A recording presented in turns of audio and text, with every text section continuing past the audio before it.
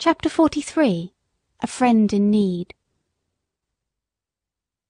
The election day came at last; there was no lack of work for Jerry and me. First came a stout, puffy gentleman with a carpet bag; he wanted to go to the Bishopsgate station.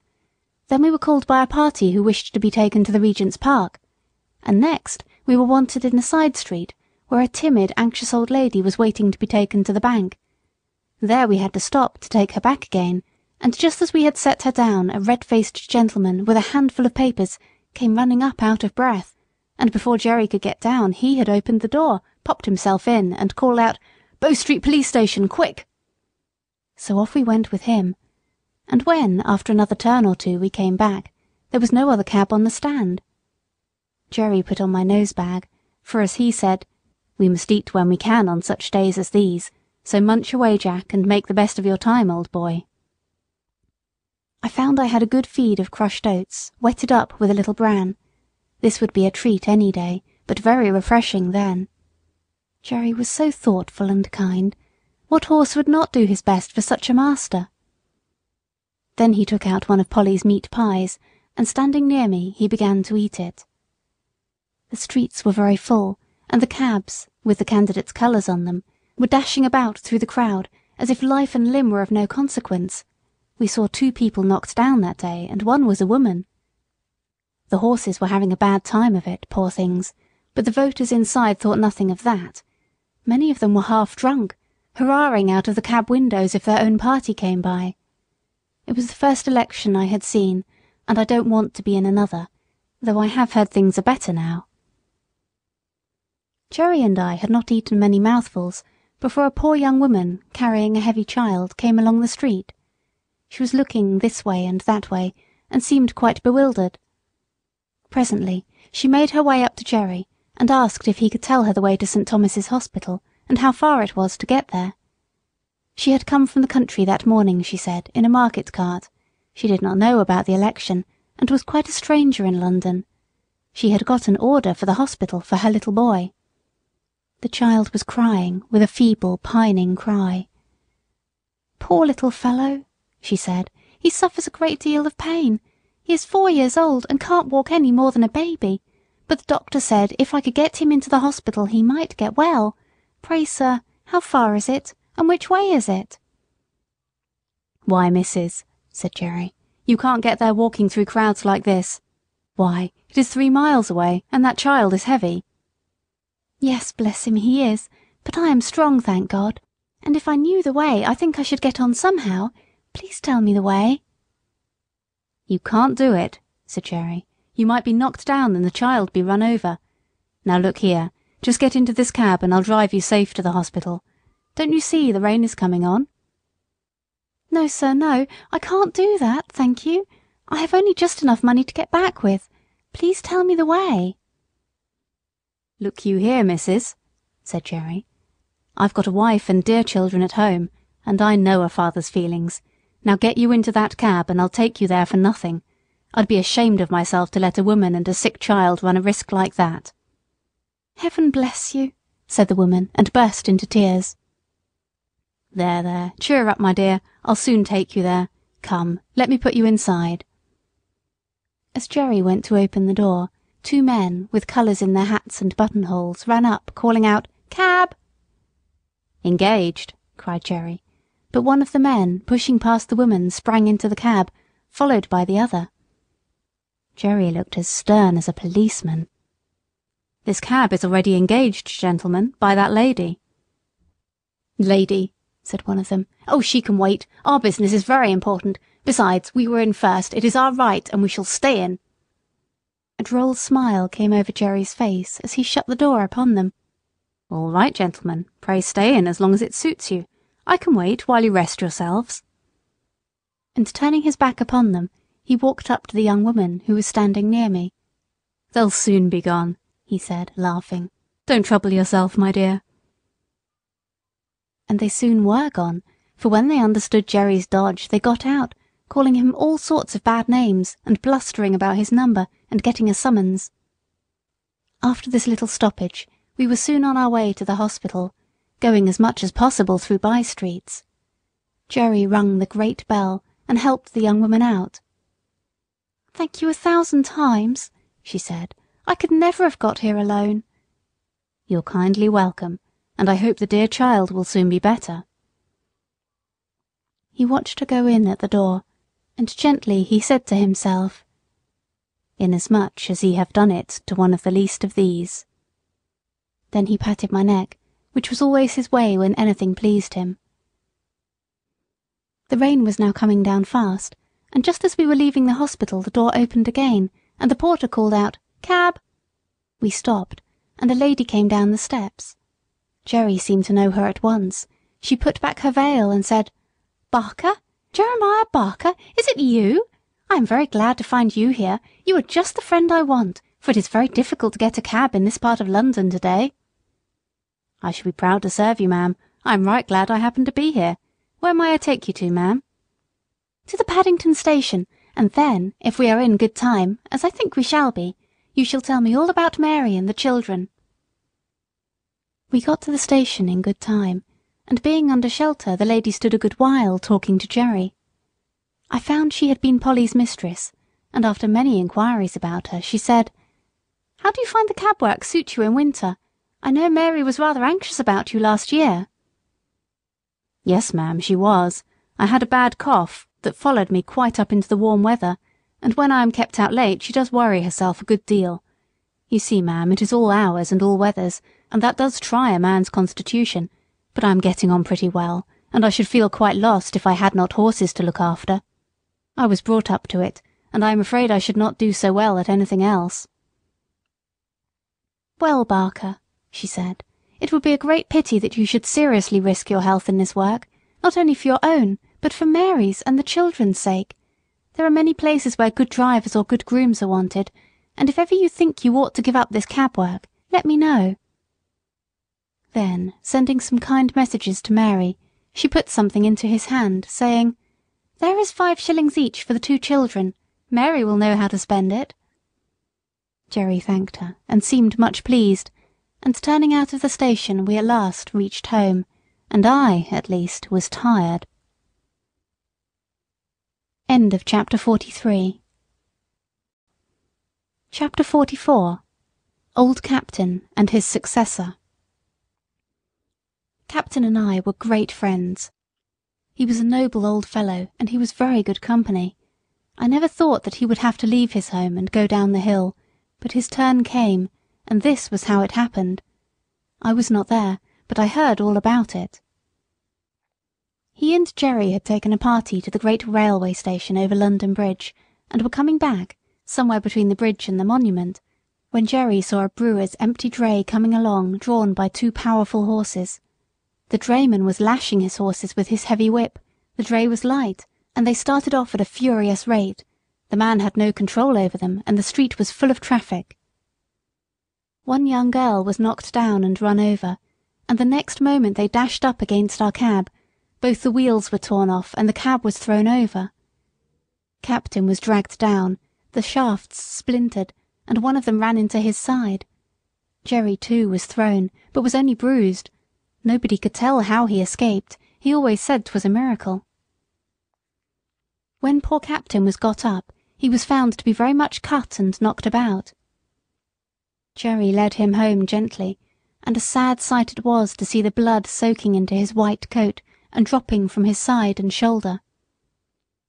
The drayman was proved to be very drunk and was fined, and the brewer had to pay damages to our master, but there was no one to pay damages to poor Captain.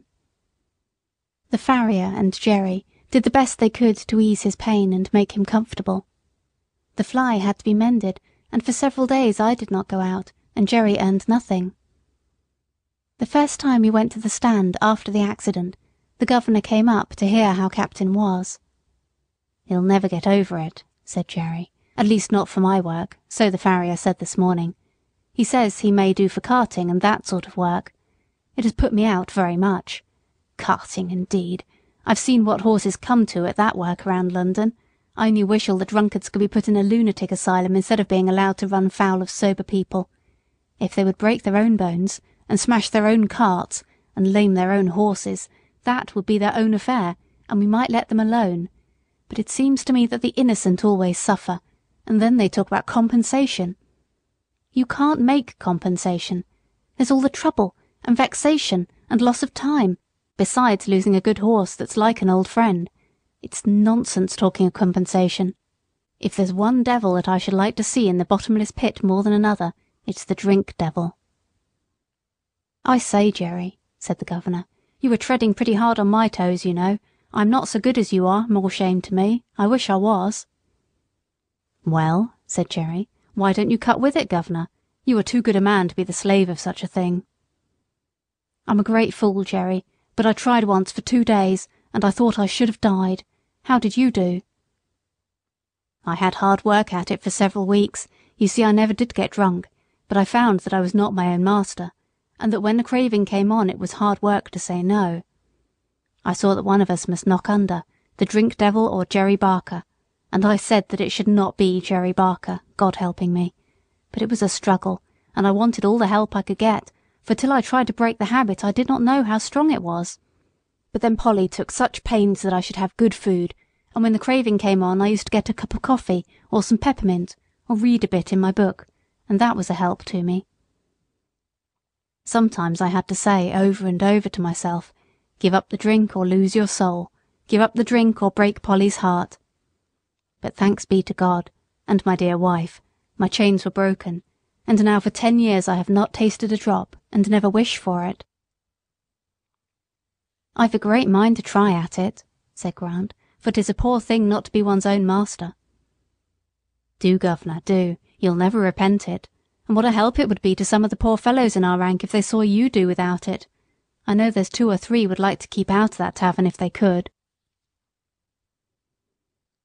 At first Captain seemed to do well, but he was a very old horse, and it was only his wonderful constitution, and Jerry's care, that had kept him up at the cab work so long.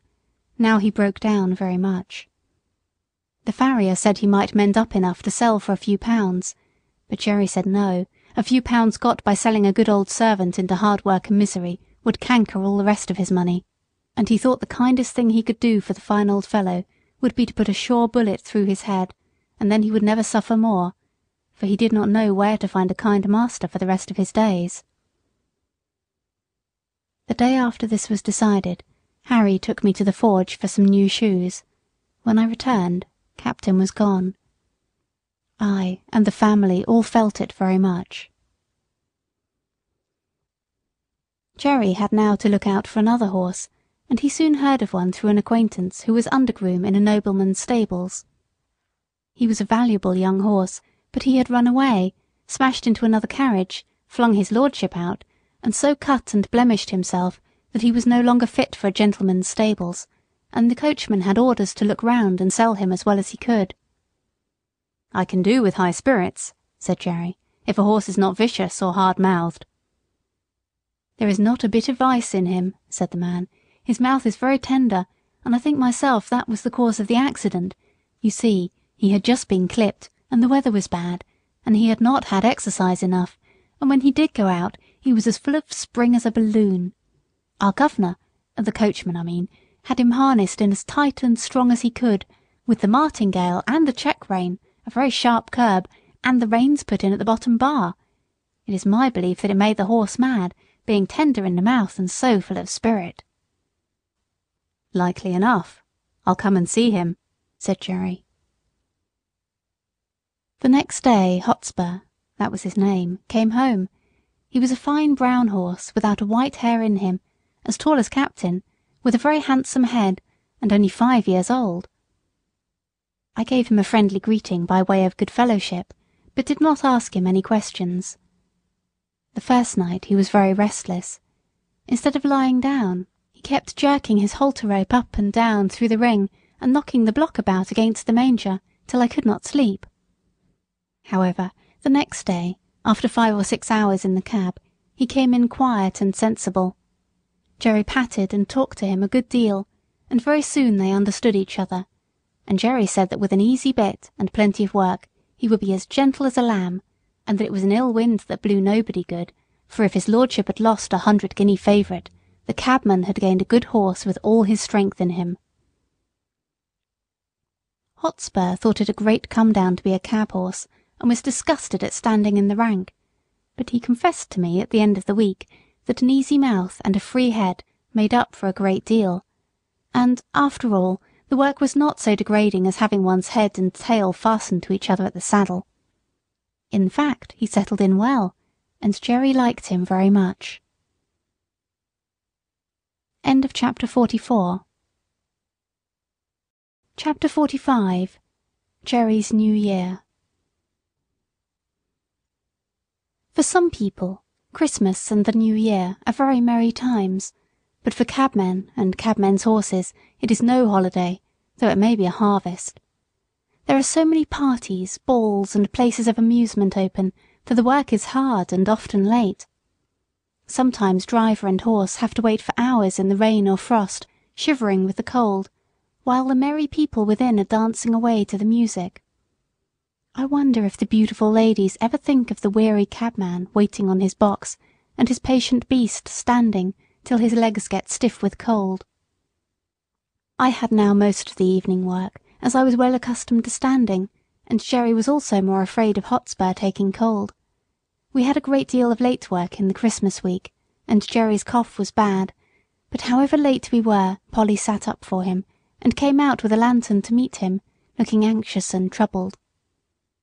On the evening of the New Year we had to take two gentlemen to a house in one of the West End squares.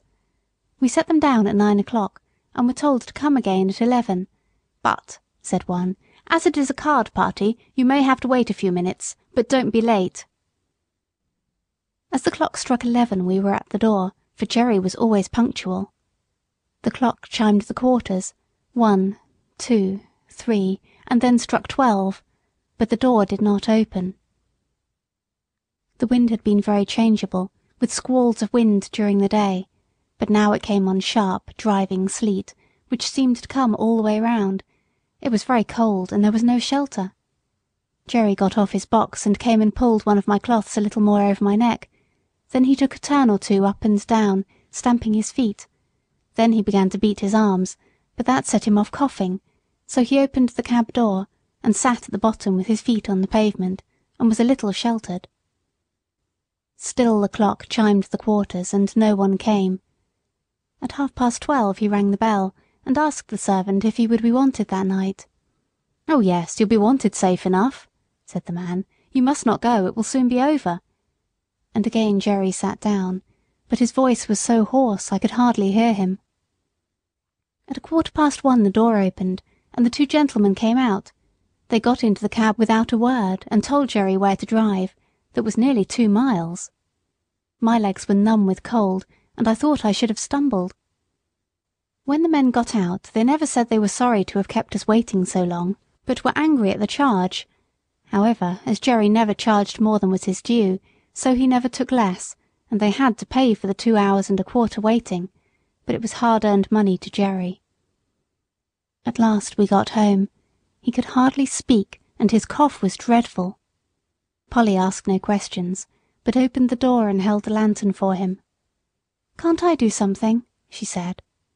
Yes, get Jack something warm, and then boil me some gruel." This was said in a hoarse whisper. He could hardly get his breath, but he gave me a rub down as usual, and even went up into the hayloft for an extra bundle of straw for my bed. Polly brought me a warm mash that made me comfortable, and then they locked the door. It was late the next morning before anyone came, and then it was only Harry. He cleaned us and fed us and swept out the stalls, then he put the straw back again as if it was Sunday. He was very still, and neither whistled nor sang. At noon he came again and gave us our food and water. This time Dolly came with him. She was crying, and I could gather from what they said that Jerry was dangerously ill, and the doctor said it was a bad case. So two days passed, and there was great trouble indoors. We only saw Harry, and sometimes Dolly. I think she came for company, for Polly was always with Jerry, and he had to be kept very quiet. On the third day, while Harry was in the stable, a tap came at the door, and Governor Grant came in. "I wouldn't go to the house, my boy," he said, "but I want to know how your father is." "He is very bad," said Harry. "He can't be much worse. They call it bronchitis. The doctor thinks it will turn one way or another to night." "That's bad, very bad," said Grant, shaking his head. "I know two men who've died of that last week. It takes them off in no time. But while there's life there's hope, so you must keep up your spirits." "Yes," said Harry quickly, "and the doctor said that father had a better chance than most men because he didn't drink. He said yesterday the fever was so high that if father had been a drinking man it would have burned him up like a piece of paper. But I believe he thinks he will get over it. Don't you think he will, Mr. Grant?" The governor looked puzzled. "If there's any rule that good men should get over these things, I'm sure he will, my boy. He's the best man I know. I'll look in early to morrow." Early next morning he was there. "Well?" said he. "Father is better," said Harry. "Mother hopes he will get over it." "Thank God," said the governor. "And now you must keep him warm and keep his mind easy, and that brings me to the horses. You see Jack will be all the better for the rest of a week or two in a warm stable, and you can easily take him a turn up and down the street to stretch his legs; but this young one, if he does not get work, he will soon be all up on end, as you may say, and will be rather too much for you, and when he does go out there'll be an accident." "It is like that now," said Harry. "I have kept him short of corn, but he's so full of spirit I don't know what to do with him." "Just so," said Grant.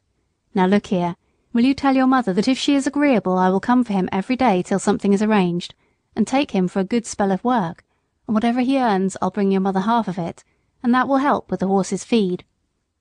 Your father is in a good club, I know, but that won't keep the horses, and they'll be eating their heads off all this time. I'll come at noon and hear what she says." And without waiting for Harry's thanks he was gone.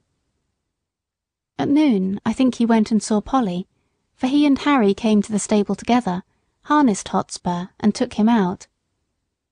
For a week or more he came for Hotspur, and when Harry thanked him or said anything about his kindness, he laughed it off saying it was all good luck for him, for his horses were wanting a little rest which they would not have otherwise had. Jerry grew better steadily, but the doctor said he must never go back to the cab work again if he wished to be an old man. The children had many consultations together about what father and mother would do, and how they could help to earn money. One afternoon Hotspur was brought in very wet and dirty. "The streets are nothing but slush," said the governor, it will give you a good warming, my boy, to get him clean and dry." "All right, governor," said Harry. "I shall not leave him till he is. You know I have been trained by my father." "I wish all the boys had been trained like you," said the governor. While Harry was sponging off the mud from Hotspur's body and legs, Dolly came in, looking very full of something. "Who lives at Fairstowe, Harry? Mother has a letter from Fairstowe. She seemed so glad, and ran upstairs to father with it." Don't you know?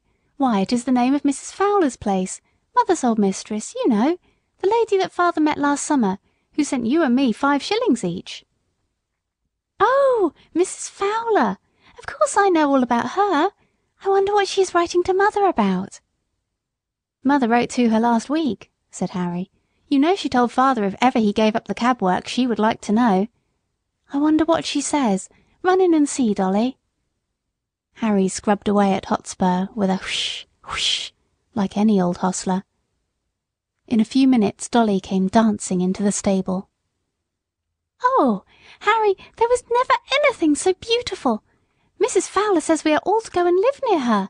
There is a cottage now empty that will just suit us, with a garden and a hen house and apple trees and everything, and her coachman is going away in the spring, and then she will want father in his place. And there are good families round, where you can get a place in the garden or the stable or as a page boy. And there's a good school for me, and mother is laughing and crying by turns, and father does look so happy." "That's uncommon jolly," said Harry, "and just the right thing, I should say. It will suit father and mother both. But I don't intend to be a page boy with tight clothes and rows of buttons. I'll be a groom or a gardener." It was quickly settled that as soon as Jerry was well enough they should remove to the country, and that the cab and horses should be sold as soon as possible.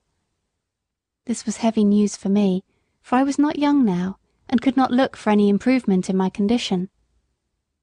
Since I left Birtwick I had never been so happy as with my dear Master Jerry, but three years of cab work, even under the best conditions, will tell on one's strength, and I felt that I was not the horse that I had once been. Grant said at once that he would take Hotspur, and there were men on the stand who would have bought me, but Jerry said I should not go to cab work again with just anybody, and the governor promised to find a place for me where I should be comfortable. The day came for going away. Jerry had not been allowed to go out yet, and I never saw him after that New Year's Eve. Polly and the children came to bid me good bye. "Poor old Jack! Dear old Jack! I wish we could take you with us," she said, and then laying her hand on my mane, she put her face close to my neck and kissed me. Dolly was crying and kissed me too. Harry stroked me a great deal, but said nothing only he seemed very sad. And so I was led away to my new place. End of chapter 45. End of part 3.